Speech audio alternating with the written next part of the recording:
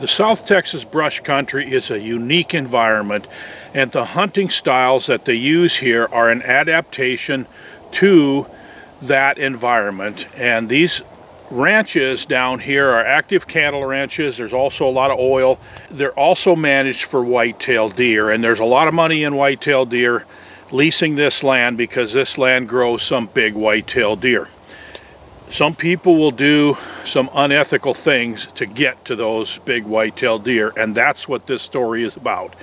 The first thing that you have to understand is how this system works down here and the the ranches lease the land for deer hunting and because this land is so harsh and the brush is so thick and everything's got thorns and stickers on it you literally can't hardly walk a couple hundred yards without getting your clothes torn off of you. So if you can't go to the deer, you have to bring the deer to you. So that's how they hunt them. In order for the Game and Parks Department to reach their management objectives and to keep the deer population under control and also the buck-doe ratio in balance, um, they have a certain number of deer that need to be harvested off of each of these ranches. Because of the way they hunt this country, they feed the deer corn and protein and so forth, and then they use box blinds like this so you can get up and see above the brush, and that's how they hunt these deer. Each of these leases has a lease manager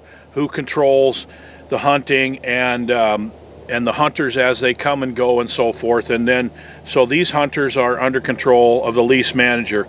This is the 138,000 acre Duval County Ranch, and this particular lease is about 6,000 acres. It's one of the pastures on that ranch. Now, Jim Stinson is the manager of this lease, and one of the hunters who hunted with him was named Skip objective, of course, is they're trying to grow big bucks, and everybody's excited about big bucks with big antlers, so they kill management deer and they kill um, trophy deer. Management deer are an important aspect to this because what you're doing by killing some of the management deer is taking some of the poor genetics out of the herd and leaving the deer with better genetics to breed. So both does and bucks, of course, have genetics that contribute to antler size. And a buck that has the right genetics to grow a big rack, if he breeds with a doe that also has really good genetics to produce a buck that will grow a big rack, if those two get together, you can have a super buck. And that's what happened here on this pasture. There was a buck that just completely blew up. And when he was two and a half years old, you could already tell that his, his big rack meant that he was going to get really, really big. And when he got three and a half years old, he's even bigger. There's about 10 people involved in this. Jim Stinson is the manager of this pasture, and then with the leadership of the Duval County Ranch, uh, and these people that are hunting this particular pasture where this giant buck lives, they got together and they said, they made a pact, I guess you could say, among themselves, where we're just going to let this giant buck live out his natural life and continue to pass his genes on and improve the entire gene structure of this whole pasture. So that's what they agreed to do. And when the buck hit four years old, it was an absolute giant scoring about 200, over 200 inches of antler. On December 23rd, the guys that hunt here all went home for Christmas, except for one guy and that guy was Skip. Skip came back and uh, decided to hunt. And he decided to hunt in the area where the super buck was known to frequent, which is this area of the pasture right here and this feeder. So unbeknownst to anyone else, Skip shot the buck.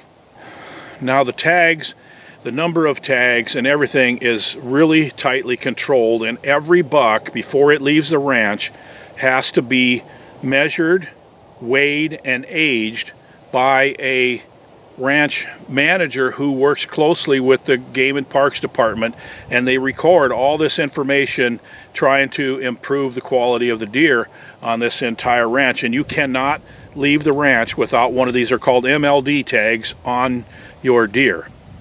It's illegal. Okay, the other thing is that you cannot take a deer across state lines that's not legally tagged.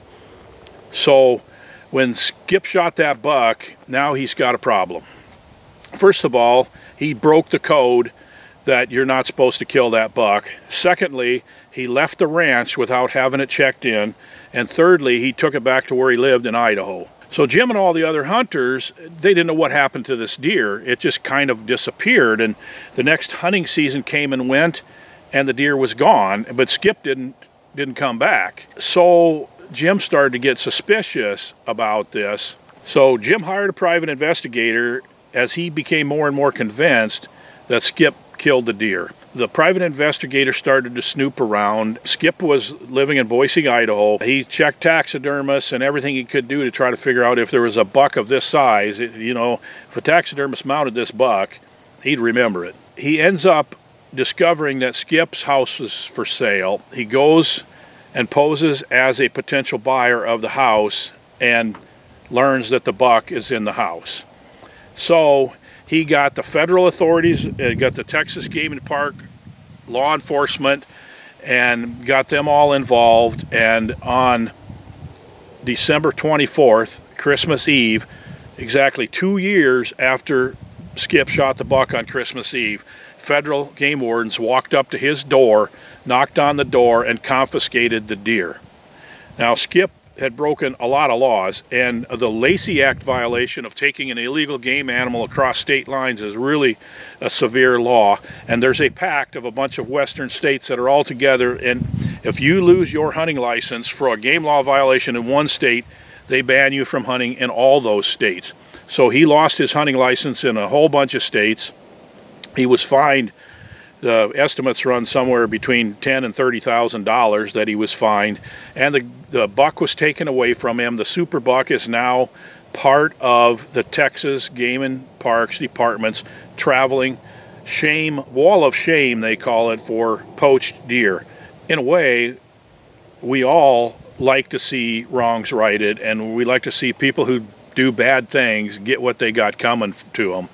So if you're ever at a place where the Texas Game and Parks Department is showing their wall of fame of these poached bucks, be sure to look up the super buck. It was potentially one of the biggest bucks of all time that was killed way too early because by the time it was uh, five or six years old, it would have been absolutely one of the biggest bucks in the world.